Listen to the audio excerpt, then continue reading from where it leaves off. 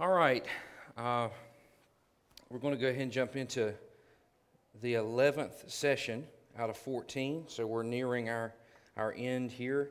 Uh, we're getting into some time periods that we are much more familiar with.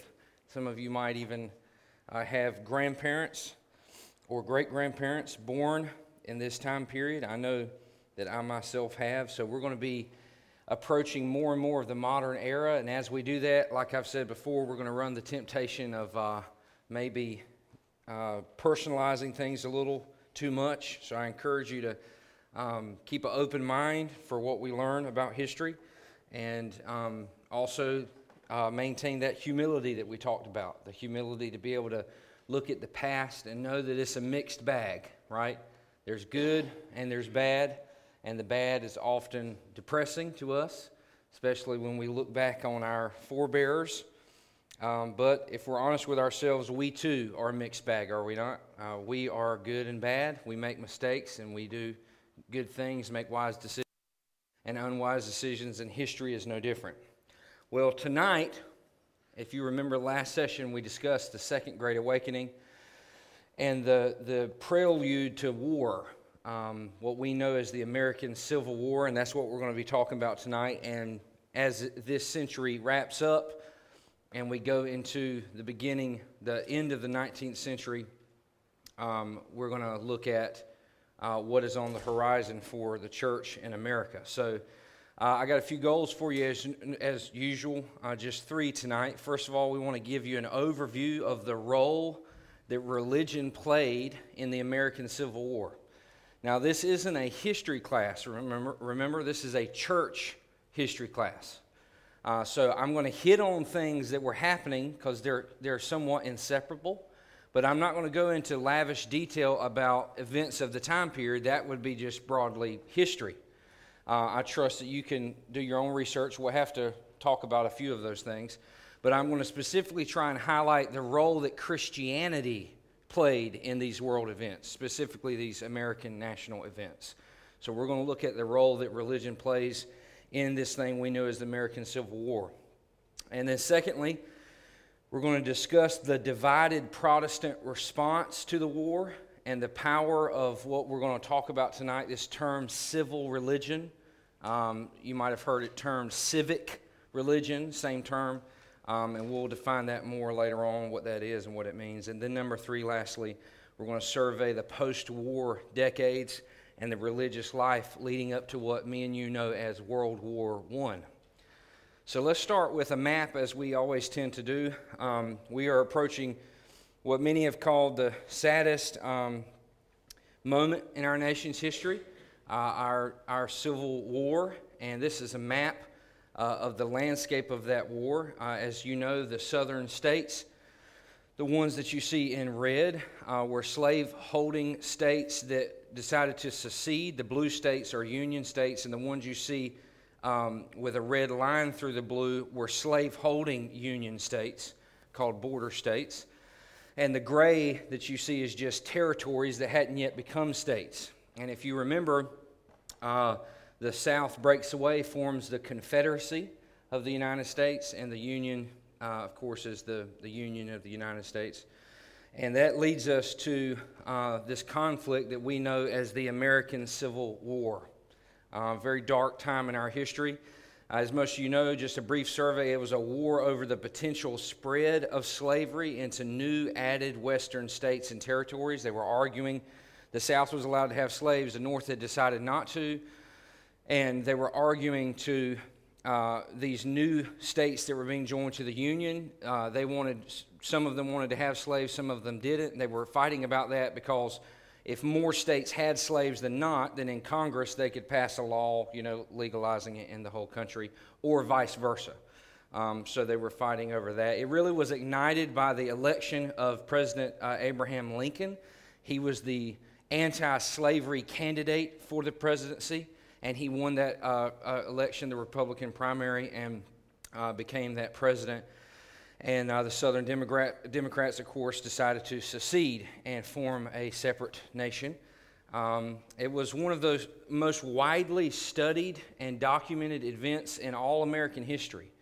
Um, if you think about it, we have that advantage because it was right here on our soil, you know, in our backyards, especially us in the South. It did result, as you know, in the defeat of the Confederacy and the emancipation of all slaves in U.S. territory. Um, at the beginning of the war, uh, that was not so, but about halfway through the war, remember, he, he did the Emancipation uh, Proclamation at his speech at Gettysburg and freed uh, all the slaves in the South and the remaining slaves in the North. Um, it was this, you might not know this, uh, but it's very true. It was the deadliest military conflict in American history. And you heard me right, period, to, to this day. 750,000 soldiers. Um, I think in World War II there was 420,000 to give you perspective. So nearly double World War II's casualties. So it, it claimed an immense amount of lives, almost an unfathomable amount nation, because the nation was nowhere as big as our nation is now, or as big as it was in World War I or II. Um, so many people lost loved ones. It was a brutal war, and this isn't including the civilian casualties. Um, from what I've been reading, they've had a hard time even calculating civilian casualties. So it's very possible close to a million people died in the uh, American Civil War.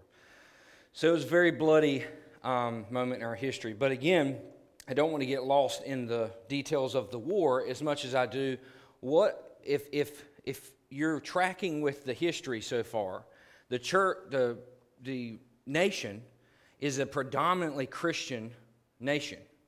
I mean, most most people affiliate with a church on some level. It's Protestant now a bunch of different branches, right? But mostly Protestant. Some Catholics, a rising population of Catholics, and a little minority of Jews. But for the most part, a very religious nation and then this terrible war breaks out. So we want to discuss what the role religion played in this war. Now, I want to say up front, uh, this war was for sure, like all wars, a political and socioeconomic war. Um, there were wars that were deemed religious wars in the past, but it's very hard to get somebody just to go fight for something they can't see. If you follow me, uh, you say, well, what about jihad and what about uh, crusades? Well, if you really go back and do the research, um, jihad and crusade was the fastest way to get richer in, in the day and time. Um, so uh, that it, it, always has an economic element and a political element. It's just how it is. Um, so it is the same with this war. This war is primarily a political war. So I don't want you to think that it was driven by religion. It wasn't. It was driven by these other issues like slavery, uh, states issues, uh, federal government issues, stuff like that. But it did have a large religious undercurrent that we're going to discuss tonight. Um, and this might be new to some of you. It was new to me, honestly, in a lot of my study. I'd heard, I, I figured I'd heard a few things similar to this, but I tried to really dive into this because I want us to think about how Protestantism especially played into the role of the Civil War. So, first of all, um, mainstream Protestants, if you remember last time we talked, um, in the Second Great Awakening, became very socially active. Y'all remember talking about that, starting things like abolition movements and uh, women's suffrage movements and um, clean up the inner cities movements and the, um, the, the teetotaler movement, the uh, prohibition movement, all these just social causes. Um, well, mainstream Protestants will continue to cast America's story in a Christian light. All right? So these metaphors and analogies that they're going to use, it's going to give further rise to an American civil religion. So what's going to happen is you're going to see both sides, but especially the North, um, and then later on the South, using Christian terminology and Christian metaphors and Christian motifs to kind of whitewash the war or to, or to cast whatever's going on in the culture at the time in Christianese terminology. Does that make sense? So we're not just fighting a war, we're fighting a holy war. Uh, we're not, our leader isn't just a better leader, he's the leader chosen and by God. So you know you realize that takes things to a next level. You know, there's one thing to say that you like Abe Lincoln and you voted for him, but it's different to say that he's God's anointed. Okay? That's taking Abe Lincoln from a man who's a president to now somehow God's holy instrument, you know, and vice versa for the South as well. And what it really does is it creates this term that we're going to talk about civil religion. Now, y'all might be familiar with the term, it was coined in the Enlightenment. It's just a term to reference that whatever religion holds together a society. It can be an independent world religion or it can kind of be a religion of a culture. Um, I'm going to give you examples in just a, a minute, but what I mean at this point in time, the civil religion that America develops in this season of history is a Christian civil religion. Now, please get what I mean. It's not actually Christian. Does that make sense? It's cat because God didn't come down and choose Abe Lincoln, you know, and light it and lightning, lightning bolts in the sky. He didn't choose Jefferson Davis, you know.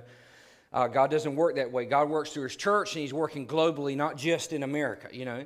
Um, but it casts these ideas in Christian terminology.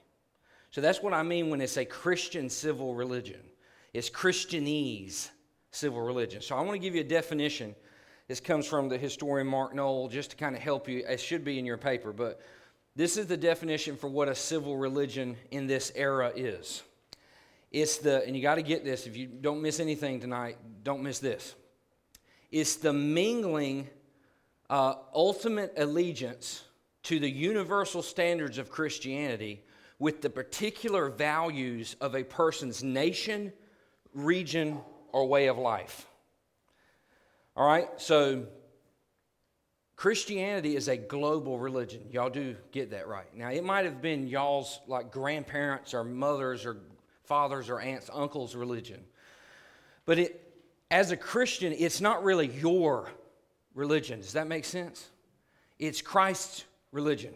It's a belief system founded on Jesus and his teachings and his word. So it exists independently of you, like really what you think about it. Like if you identify as a Christian, that's great. You're saying what Jesus taught, what his word teaches, that's me. But when you step outside of that, you're operating outside of the umbrella of Christian. Does that make sense? But what a lot of people around the world, not just Westerners, but especially Westerners, what we've struggled to do is to borrow from the Christian religion and, and, and, and paint things that we personally believe or our nation believes or our people group believes in Christian terms. And you say, well, why would we do that? Well, I think it's an easy mistake to make. It's not hard, it's a subtle mistake you can make. But if you think about it, it puts the weight of God behind your ideas and your opinions. Um, no, now, no longer is the Union Army marching just to deal with the Confederates and free them. They're, they're singing the battle hymn of the Republic and they're marching as the, the men of Israel and Gideon to go do the Lord's work as they slaughter, you know, thousands of people. Uh, same with the South. South, uh, the Southerners are singing hymns as they charge into battle, and praying beforehand and having services because they think, you know, their priest or their, you know, their pastor will bless them or pray with them, and they think God is on their side. And see, this is a danger but and do we not face this in our day and time as well? It's very easy to do this. To uh, I want to read it again. Civil religion, especially in this era, is mingling your ultimate allegiance to the universal standards of Christianity with the particular values of a person's nation, religion, or way of life. Very easy to do. Uh, so don't. It was hard for me not to be kind of um, arrogant and, and look down on our ancestors. But if you're really honest with yourself, is it not easy to fall into that same way of life? I mean, if you're a Christian person, you start thinking in Christian paradigms, and it's easy to assign, you know, things going on in the world, things going on in your nation in biblical terms.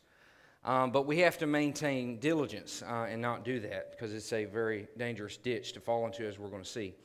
Number two, during the war, Christians on each side are going to weaponize the scriptures against one another and they're going to integrate the stories of Scripture with their own national struggle. All right? We're going to show you some examples of that in a, in a minute. And this sets a dangerous precedent that will have lasting consequences. Some of you were alive when the ripples of this type of religious terminology still exist today because we use it now. I mean, presidents use religious terminology all the time, both left and right. Um, were any of you alive to hear the speech, The City on a Hill? Uh, who was that? Gave that speech? That was JFK, right? Or was it Ronald Reagan? Was it? I don't know. Reagan? Okay. And look, I'm not busting on Ronald Reagan, but the city on the hill analogy is a perfect example because who's called the city on the hill in the Sermon on the Mount? Nope. The church.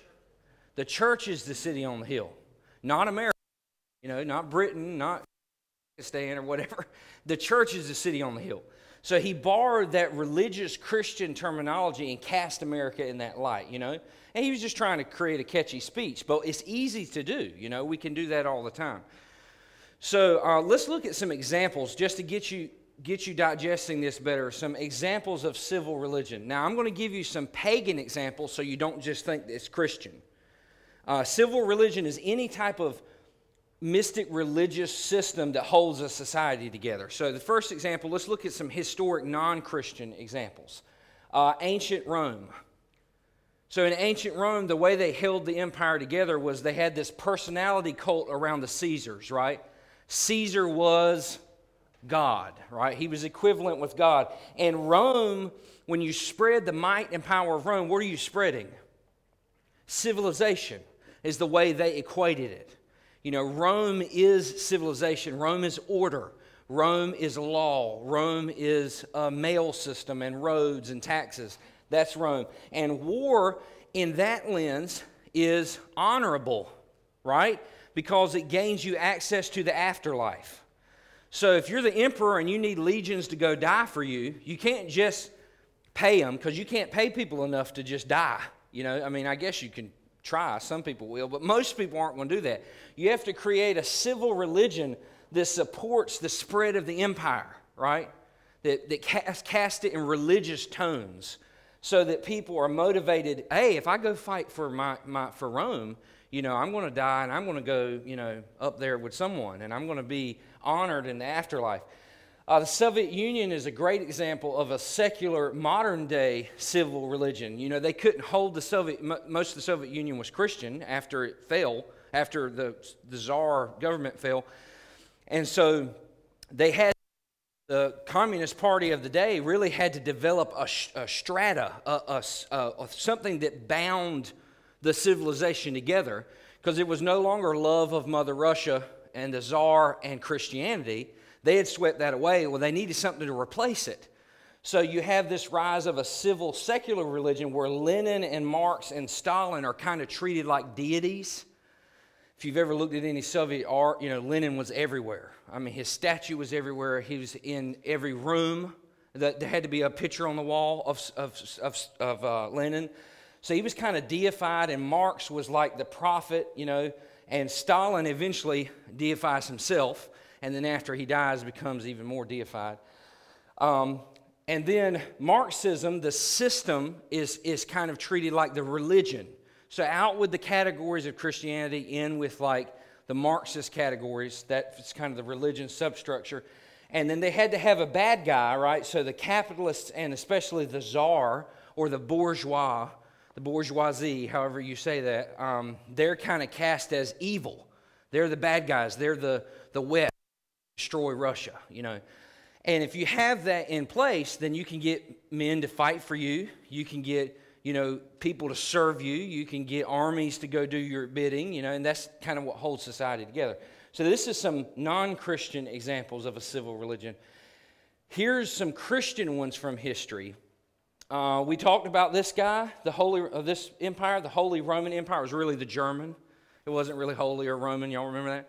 It's the German Empire. Uh, Otto the Great was kind of cast in this role as God's appointed servant to keep Christendom together. So, I mean, that's pretty good when you're God's servant because you get a free pass on things, right? Because you're God's, you're God's anointed one. And the empire is Christendom's only hope. The Germans had to come in because Rome had fallen, and to save us from the hordes of the East, the, the German Empire had to come in and establish order. So it's, it's Christendom's only hope. And conquest was equated with evangelization. Now, there was some medieval evangelization, as you know, especially in like the British Isles and places, but the German Empire at this time, the Holy Roman Empire, mainly equates it with, well, you know how we're going to evangelize? We'll go in and conquer a little, we'll, we'll conquer them, and then they'll all be Christians. We'll make them, you know? Uh, and the king converts, and then the whole country converts. Um, a more modern example, the British Empire at times. Uh, the monarch was kind of seen as, you know, the head of the church, God's anointed. God save the queen, God save the king. Um, English law and commerce were kind of seen as the gospel, the good news. We'll bring English common law and commerce and all the great things that the British Empire has to offer. We'll bring it to the world, uh, to all the barbaric peoples across the planet. And they did this same thing that the Holy Roman Empire did. They equated conquest at times with evangelization. Now, Good note for the British Empire. There's parts of it that were nothing like that at all, but then you have like India, which was basically nothing. It's when the secular interest and Christian interest, interests intersect, because India had a lot of goods, money, uh, uh, spices, uh, uh iron ore, you know, farmland. So they're like, hey, India looks really nice. You Christians want to go with us? And, and, they're like, well, we'll evangelize the heathen with you, you know. So when they intersect, then you kind of have this conquest and evangelization are the same thing. Um, but anyway, that's a good example. I hope this colors in what a civil religion is. Um, are any of these Christianity? Historically, did Jesus teach any of this? Did the apostles write anything about this stuff? The New Testament doesn't talk about any of this stuff. Usually it's the opposite. But somehow these civilizations have managed to take terminology like a God and a structure and an order to the universe and cast it in a civil lens, paint it the way they want. So, to give you some illustrations of how they did that in this era, uh, we'll look at the Union and the Confederacy. Um, the, Christ, the Christianized civil religion of this era, let's look first at the Union. Um, you're going to see Abe Lincoln is cast in the role of like a biblical deliverer. And if you think about it, it's kind of providentially has the name Abraham, right? Like a father of a people. And so people see him as like a, they'll, they'll talk about him as God's chosen, anointed for this hour, picked out of against all odds, the father of a people. Now, um, if you don't think that that's true, has anybody been to D.C.? What did we do when he died? We built him a, no, we call it a monument. What's, in, what's engraved behind him? In this what?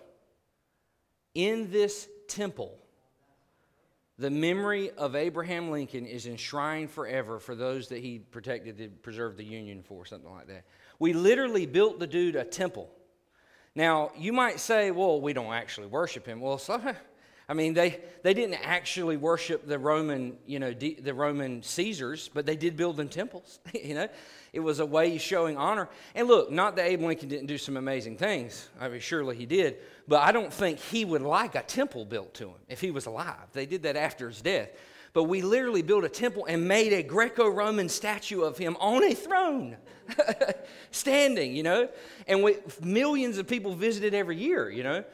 So if you don't think this is true, he's very much cast in the role of the Moses figure, the great prophet deliverer, right? Uh, the union, I mean, uh, abolition, the cause of opposing slavery is going to be equated with the epitome of Christian virtue. So uh, and by the way, I, I do believe the New Testament clearly lays the groundwork for the abolition of slavery, especially chattel slavery. But if you think about it, this, this removed all nuance from the conversation. So if anybody had any hesitation about how to go about doing anything, the Protestants didn't the Protestants in the north didn't really care to have a discussion. They're just like, I don't care if we got to go kill them all, let's go kill them all, let's just end this. It was a little haphazard, if that makes sense. And the way they got away with the haphazardness, uh, the willingness to just go to war and everybody go fight, no matter the cost, is because it was cast in religious terminology. It was seen as a holy war, right, to end slavery. Now, is a war to end slavery necessarily a bad thing? No. But casting it as a holy war, that's just taking it from a moral thing to a little too far, if that makes sense. Um, the war seen as this holy crusade, as I mentioned, and then America, you're going to actually see the terminology, which you might have heard some today, as the new Israel. Uh, America is the new Israel, and Judah and Israel are fighting. And Israel's got to go down and bring Judah back into the fold. Uh, you'll see preachers speaking this way in the north. Uh, you'll see poets writing this way. Uh, the, the main leaders of the abolitionist movement at the time, anybody heard of Harriet Beecher Stowe? She wrote Uncle Tom's Cabin. She is the daughter of Lyman Beecher, who is the famous evangelist from the Second Great Awakening. So these are the second generation of some of the most influential Second Great Awakening preachers and evangelists. So they had that same fervor in their bones to do whatever they can to change the culture at all cost. So you're going to see this religious use of terminology, this haphazard. And then in the Confederacy, it took a little longer because honestly, the Confederates even themselves knew that they didn't have much of a case biblically for their side. But there was an argument that went, went on for quite some time in the South. Uh, Abe Lincoln is seen as Satan, you know, he's the Antichrist, he's, he's called that. Um, he's destroying the union and the world. You know, he's, he's, he's casting this satanic image. And by the way, if you ever cast your political opponents or your enemies at work or the people that you don't like, if you, if you have to jump to biblical categories, that's a very immature, unhealthy move. Um, nobody, Satan is Satan. Okay? Your, your, your boss isn't Satan. He might act like that occasionally, but he's not Satan. Uh, your political rival is not Satan. Um, it, it, it's, it's very easy to do, but the slavery is biblically justified. So they tried to use the, the, uh, the arguments were, you know, like in Philemon and other places where Paul talks about slaves submitting and witnessing to their masters so that they might get saved. Well, the problem with this, obviously, is there was a major misunderstanding because of the, the underdeveloped sciences of things like archaeology. That Roman slavery, which could be freely entered into and freely exited, like if you had a debt, I would be your slave. You, you'll say, I'll pay you $250,000 for three years and you can get out of debt. I'm your slave for three years, and then I'm done. I paid my debt off, I'm a free person. Um, that's very different than chattel slavery. Uh, uh, the slavery in the ancient world was not based on race. So it wasn't like in Rome, every, all the white people were one were Roman and all the other colors were slaves. That's not how it worked. Um, Paul was Jewish and he was also a Roman citizen. So chattel slavery is very biblical form of slavery that they argued against. That's a little side note. Um, chattel slavery, which is race based, is, is one of the most important things, and uh, going and kidnapping, you know, whole populace and enslaving them. But they try and use, see, instead of doing honest hermeneutics, they try and use sections of Scripture to justify slavery. So they're saying things like, well, how better to evangelize them to, keep them safe under our house where we can take them to church and preach the gospel to them? It's like, well, yeah, I mean, you might be one out of a hundred slave owners that actually does that. I mean, most, I mean, most common folk didn't own slaves. It was usually these big industrial farms that we know as plantations, like Grimesland was, was the closest plantation here. Still there, by the way, the plantation house. Family still lives there and everything. Um, they we're hundreds and hundreds of slaves. So you Sunday morning they're gathering all together, you know, cleaning them up, taking them to church. I mean, come on. It, it was just a biblical justification for trying to keep the economically viable thing of slavery alive. The war is cast in this term of like a holy war of defense. Like these evil Philistines are coming down into our land to destroy our home. You know, many Southerners didn't believe in slavery but they fought because you were invading their homeland. Like, well, if you're going to burn down my home and kill my family, like, I'm going to fight you. You know, I might, I might even agree with you, but I'm, going to, I'm not going to let you burn my home and kill everyone. They, instead of just saying that, they went had to go a little further to like, you know, the union's overstepped its bounds. Their, their, um, their sermons of, you know, casting them in a Nebuchadnezzar light, and the, the Babylonians are coming down into into Israel, and you know we got to resist them. Um, it's seen that way. And then lastly, the Confederacy is seen as Israel under siege, right? So it's very easy to do, but sadly this happens in this time period because America is a very religious nation. So the knee-jerk reaction is to use Christian terms to kind of explain all of this stuff. Um, now, I know I said I wanted this to mainly be religious, and you're going to see this next, pitch, next picture and say, That's, he's not a religious figure. But it's worth mentioning, just a little time out for good old honest Abe, all right? Um, Abe Lincoln was not a religious leader per se in this time period, but he had a huge effect on the civil religion of our country. Because um, you'll see why in just a moment. But he's the 16th president of the United States, as you know. He was raised in poverty and greatly exposed, get this, to second great awakening revivals and schisms. So when Abe was a young boy, the second great awakening was raging. Well, they came through his town, one preacher after another, one rally, and he saw Presbyterians fighting with Baptists and Baptists fighting with Methodists, and he saw the, all the schisms that could happen. And what did it do? It it, it made him have a bad taste in his mouth for organized Christianity. Uh, he, he had little commitment to Orthodox Christianity. He was sus- somewhat suspicious of churches and established dogma. So he was, people say Abe was a Christian. I would say he's more like Christian little c. Does that make sense? He was like Christianized more than a devout Christian because uh, many people asked him orthodox questions about Christianity, and he either he wouldn't comment or he would deny them altogether. So he really later on, after his presidency, as many of you will know him, he becomes this mythic figure in the Civil War, uh, in, in, the American civil religion, uh, due to his role in preserving the Union and being cast in that savior role.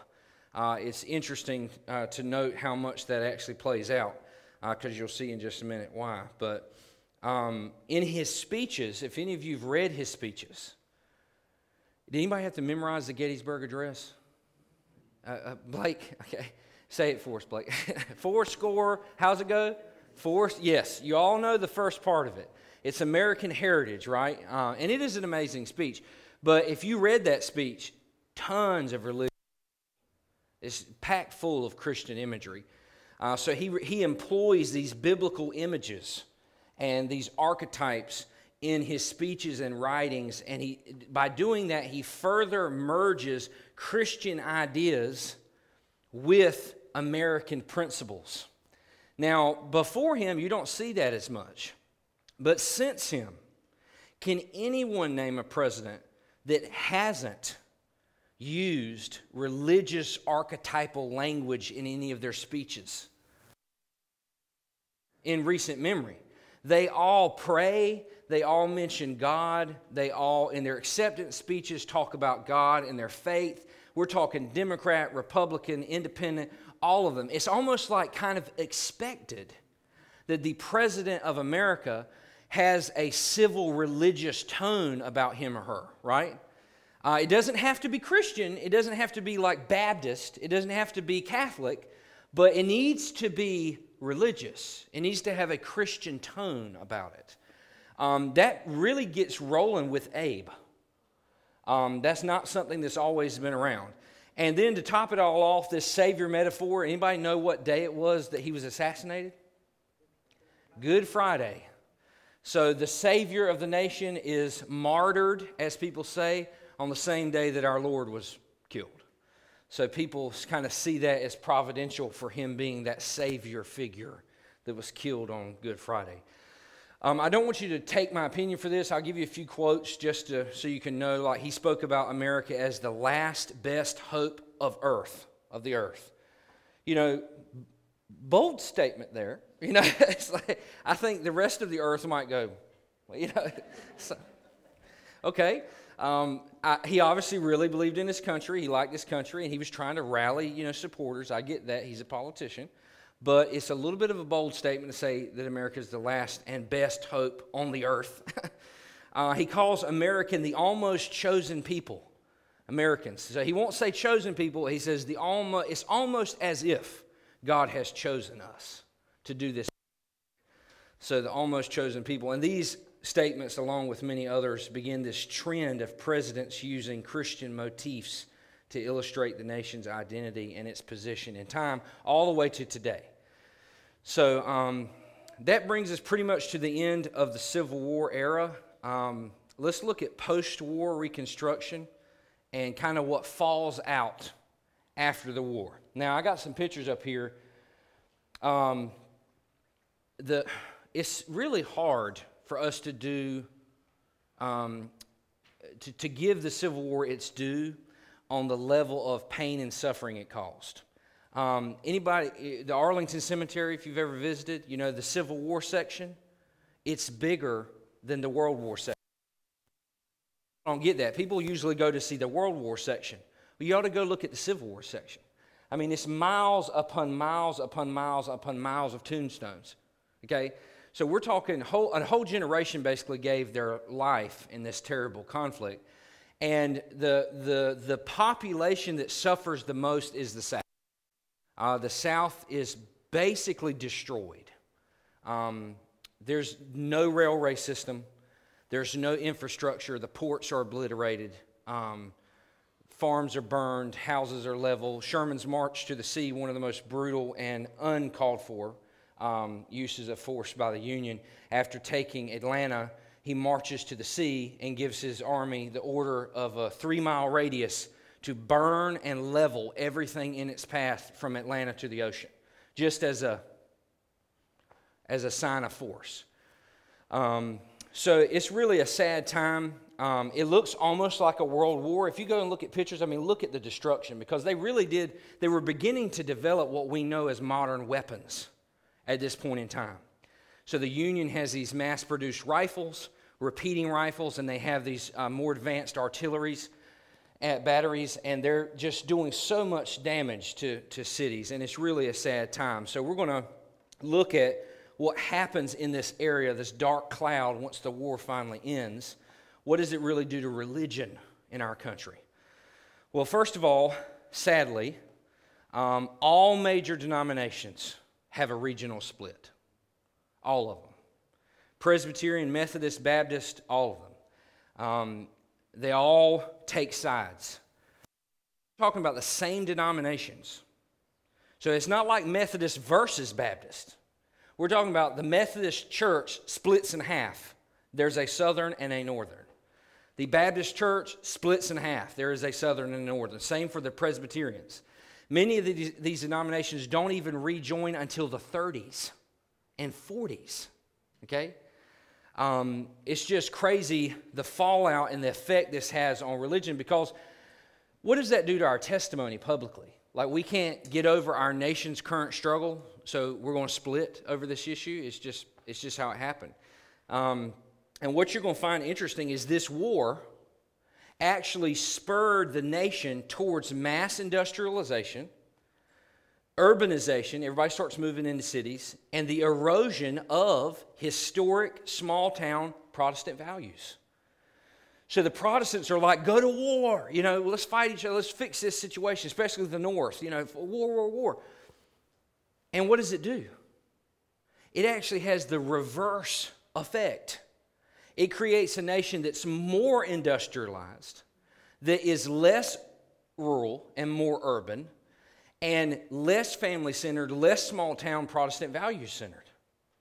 So they shoot themselves in their own foot by pushing and supporting the political establishment go to war, go to war, go to war. They actually lay the groundwork for a lot of their own problems. Uh, Mark Noll says this great statement. The curious result was that a war won and lost by people who felt true religion was at stake. That war produced a nation in which the power of religion declined. So they thought that we as Christians have to support what the government wants to do because it's just so important. We got to do it. And they actually sacrificed a lot of their influence as Christians because they took sides and they got involved in the conflict. If you ever have a, a, a famous history statement tattooed on your body, it's this next one I'm going to show you. And I'm being ridiculous, obviously. But um, I love this statement. It's from William Ralph Inge. If you marry the spirit of the age, you will be a widow in the next. He was speaking to Christians. If, if, if the church falls into the trap of marrying the spirit of the age, you'll be the widow of the next. See, the Christian church is called to transcend culture. We have to love the tensions of a culture. That's what makes Christianity so strong, is that it exists in hundreds and hundreds of cultures on every continent on earth. That's what makes it a powerful force, not that it's American or British or African or Asian, it's that it's Christian. It transcends those categories. And when the Christians in a particular nation, as they have all through time, not just our country, when they marry themselves to the political or social causes of their day, it always backfires. It actually lays the groundwork for the culture abandoning you in the next generation. Um, a perfect example of this what culture capitulated to the social and political pressures of their day in recent memory to terrible effect? The Nazi Christians. You do realize in Germany, Germany was a predominantly Protestant Christian nation. We're talking gospel preaching, Bible believing Lutherans uh, and, and some Catholics, you know. I mean, we're talking about a very Protestant populace. And what happened? Many of them, most of them, were not Nazis. You do know that, right? They didn't actually want everything that Hitler and the people promised, but they were in a position where they were scared. The West had robbed them of so many things, and the pressure of the day was sign up for this Hitler guy. He's going to bring jobs back. He's going to fix the culture. He's going to run the Westerners off. He's going to defend Germany. Uh, we need to sign up for him. And look, yeah, he's a little rough around the edges. He's got some thugs with him, but who cares? We need to just sign up for this. And the pressure, you can't imagine. Y'all think our culture is divided and pressured? You don't even know. Uh, could you imagine Nazi rallies going through your neighborhood and you mean to tell me it, you're scared out of your mind they're going to beat you over the head with a club? You're not going to wave a flag? I mean, it's easier to wave the flag than it is to die. And that pressure, what happened predominantly in Germany, the Christian church caved. A small remnant went underground, but most of the Christian church in Germany caved to the Nazi regime. And what has happened since then? The second generation is almost entirely secular in Germany. Because they look back on it and they say, look, this didn't mean anything. I mean, you claim to believe in God and His Word and all this stuff, but you won't stand up for, for this atrocity, atrocity? They didn't buy it. And that's the World War II has largely led to the, to the secularization of Europe because the Protestants and the Catholics dropped the ball.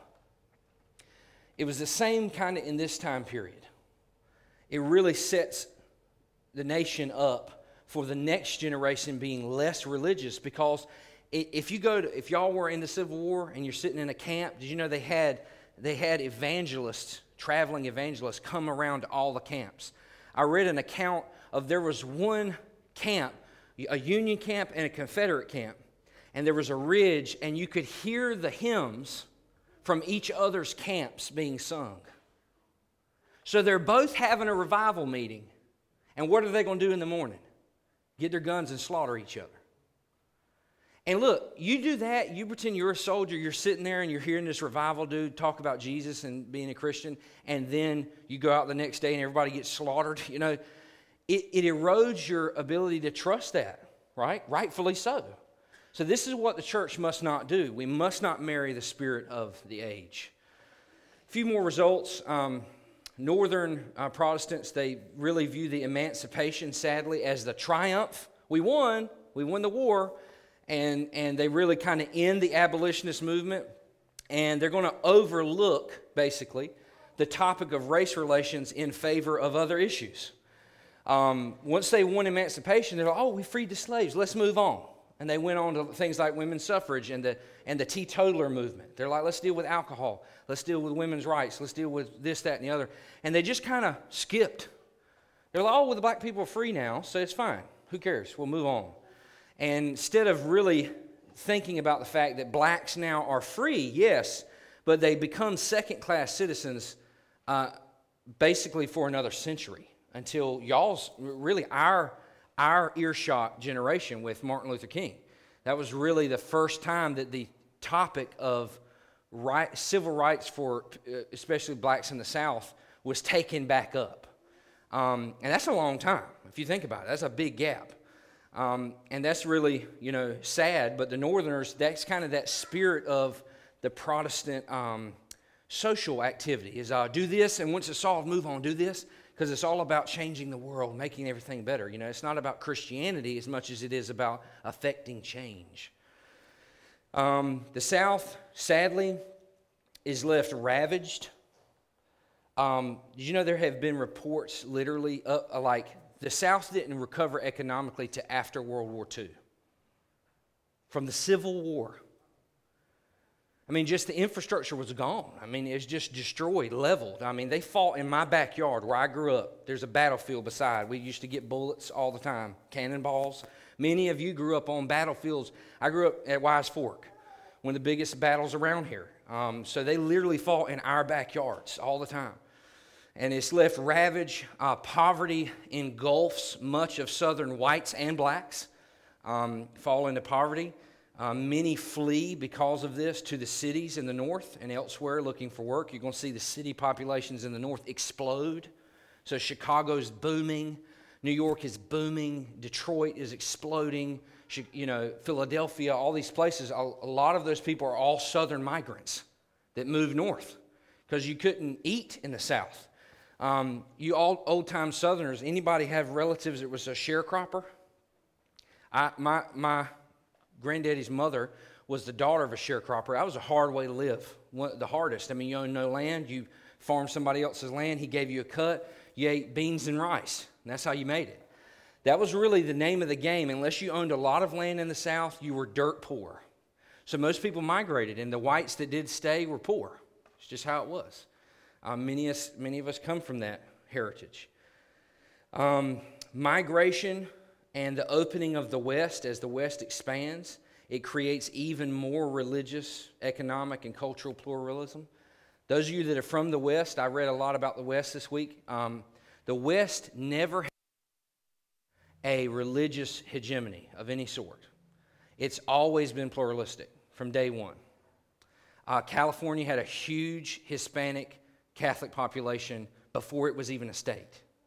So instantly, the Protestants had resistance. Uh, Native Americans had their own indigenous religions and Christian versions, a Christian uh, uh, Native American religion.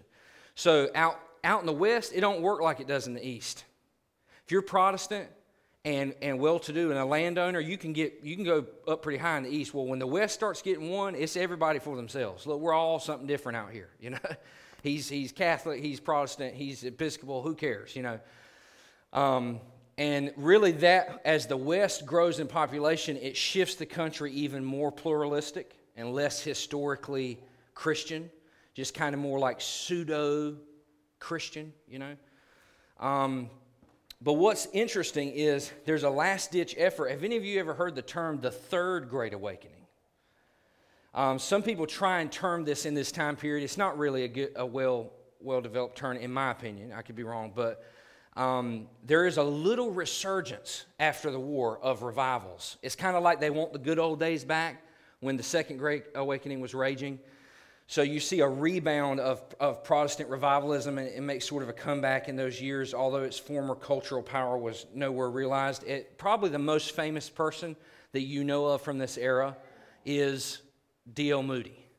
Um, D.L. Moody, Dwight Lyman Moody, the most famous evangelist of the time period he kind of brings back, you know, some pretty large revivals. I mean, in Brooklyn, he had an insane amount of people at one of his rallies. He's definitely the most prominent evangelist of this era. Um, he's an interesting guy. He moved to Chicago in the 1850s, right before the war. He was a successful businessman, so he made a lot of good money, uh, worked hard, and then in the process was converted, became a devout Christian. And after that, he gives kind of gives up his business practices. And in the 1870s and 80s, he uh, gained international fame as an evangelist. Um, he was known for his dynamic and straightforward preaching style. He wasn't flashy like the Second Great Awakening. You'd probably find him boring. Uh, he was very straightforward and reasoning, didn't do a lot of raising of his voice, not, not a lot of showmanship. He was more like a businessman there to talk to you about why you should place your faith in Christ. Um, so he had an appeal to people in that day. Y'all probably know him as uh, founding Moody Church uh, in Chicago and the Moody Bible Institute, uh, Institute. John attended the Moody Bible Institute. We had another couple in our church that did as well. Um, Moody Publishers, anybody heard of that? A book, you look on the back, Moody Publishers, he founded that as well. They all continue to function to this day, so he has a lasting impact. Um, you probably also might not know him but he, for this, but his legacy, he kind of brought this to the Protestant table. Uh, he had an, in, in, a huge emphasis on the importance of what you'll hear as a personal relationship with Jesus Christ. How many times have you heard that phrase? Well, he really coined and pushed that phrase. Before then, it was like believe in Jesus, you know. Uh, but he he coined the phrase. Uh, uh, but do you have a personal relationship with Jesus? You know, he used that terminology. Um, his he also was a huge uh, social reformer. Started educational institutions and all that stuff. Anybody ever heard of the colorless book? The colorless book you haven't? Okay, the colorless book is a book. It's like red, yellow, gold, green, you know, whatever. And you tell not colorless, it's full of color, excuse me.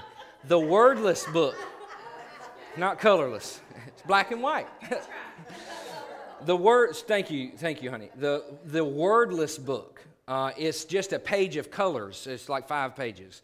And it's like, uh, you know, sin is red, or no, no, no, sin is black, and then, you know, Jesus is red because it's blood. And you tell the story to people that don't read.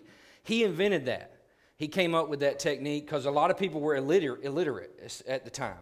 So he, you didn't need to read to have that book. Uh, you could show some, you know, kind of explain the gospel to somebody. So uh, D.L. Moody was a good man. Um, it's also worth mentioning, uh, I know we have a missions major in, in here, so um, it, would, it would be wrong for us to skip this note, although we can't spend a lot of time here. This is known in missiology, the history of missions, missions as the great century of missions. Um, the late 19th century, so after the war, you're going to see uh, this huge explosion of mission work, especially out of Britain um, and other European countries, but America hopped on the wagon too. Um, you'll see the rise of these societies, missionary societies, like the American um, Board of Commissioners for Foreign Missions, ABCFM, if y'all have ever heard of that, and the Women's Foreign Missionary uh, Societies. They played a pivotal role in sending missionaries abroad. Uh, some of these names you might recognize. You're going to have famous people like Adoniram Judson, missionary to Burma, um, uh, Mary Slessor, missionary to Nigeria, Hudson Taylor to China. They gained, uh, gained huge renown uh, during this time period. What really set it apart in America more so than others is that women are going to be really involved in this movement. Um, it's, a, it's a largely uh, you know, women-centered movement. I mean, you have single women raising money and going across the pond to Nigeria alone, you know. Um, and some of them died, but uh, some of them carved out great works by the work of, uh, of grace. So it's an interesting time period. And uh, lastly, our last slide, we have to talk about this to lay the foundation for next week. Um, so if you, if you track the logic here, we've had a war.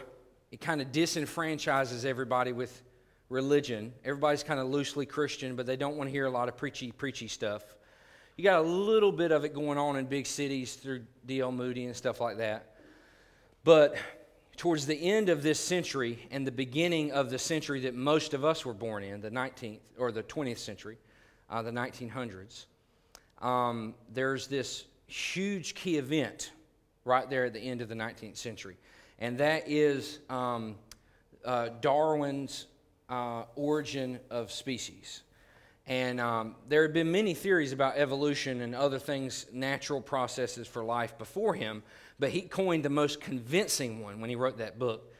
And it really hit the, the airwaves, although there weren't airwaves, but it hit the printing presses uh, at a time that, uh, that the, the cultures of the West were uniquely prepared for a skeptical look at Christianity.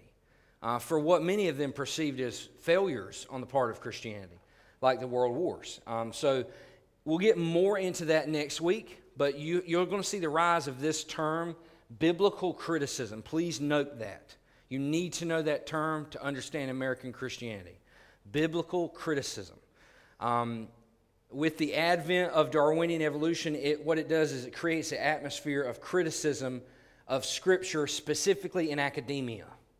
Uh, so, in post Enlightenment uh, France, um, Germany, especially Germany, some in Britain, you have the intelligentsia, of those that are in the higher echelons of, um, of academia, right, starting to be very critical of the Scriptures. Um, they're, they're starting to use, his, you're having the advent of what we know as archaeology.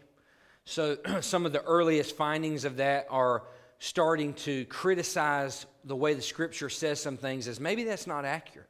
Maybe that's not historic. And you get this movement called biblical higher criticism. Um, so what they do is they develop these theories to harmonize scripture with the sensibilities of the era by eroding scripture and some of its claims. So in Germany, the, the reaction is the upper echelons of the seminaries say, oh, oh, oh, you know, the scientists and the, the, the paleontologists and the archaeologists are starting to call, call the Bible out on some mistakes it's made.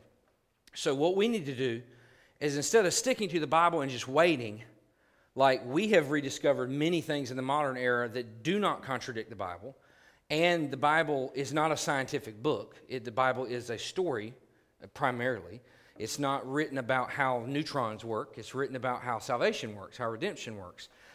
And as time went on, we've recovered. You know, obviously today, Christianity is larger today than it's ever been, right? Um, but instead of waiting for that to happen, you're going to see a lot of people, Christians in Germany especially, capitulating to the culture and developing this thing called biblical criticism, which is a method of trying to harmonize scientific discoveries with what the Bible seems to say. The problem is, for instance, like they, they saw no evidence for um, a crossing of the Red Sea. Uh, they argued that the oldest text should be translated the, the Reed Sea, the Sea of Reeds. Whether it's reeds or red, that doesn't matter to the story at all. But they get caught on that and they argue about that issue, right? And, and what they wind up doing is they start capitulating things, and it actually winds up undermining Scripture. Because um, they're more concerned about the culture respecting Christianity than they are Christianity sticking to what it believes. So you're going to see this eroding of Scripture, and this tension is going to lay the groundwork for future controversies after World War I.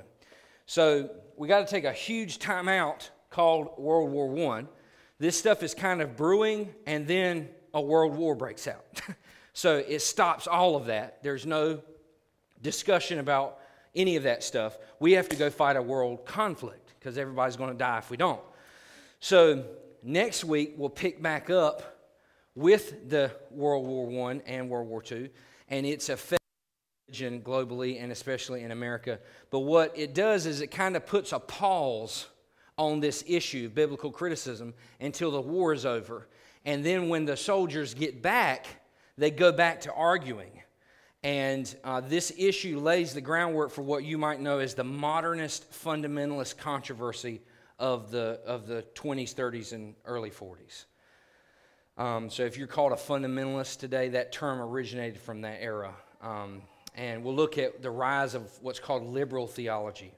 Um, that doesn't mean liberal as in different than what you think. It means there's a specific meaning. But that brings us to this famous century, um, the 20th, which I was born at the end of.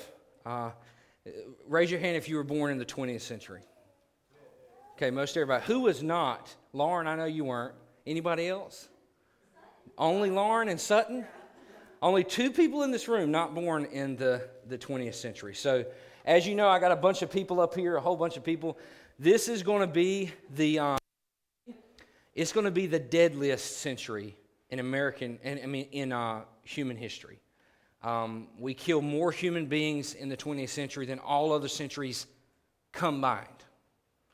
Um, two global conflicts and many other conflicts. So it's, it's a hard century, but we're also going to see crazy advances. I mean, if you start at 1900 to 1999, when I was seven, the, those that's a big jump. In 1900 to 1999, I mean, a total change of everything.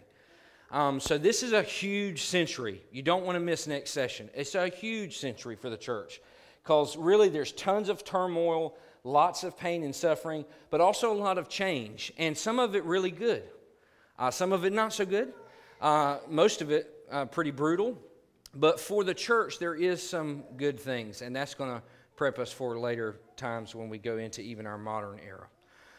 All right, so that is, uh, that is all we have for session 11 the Civil War and a New Century.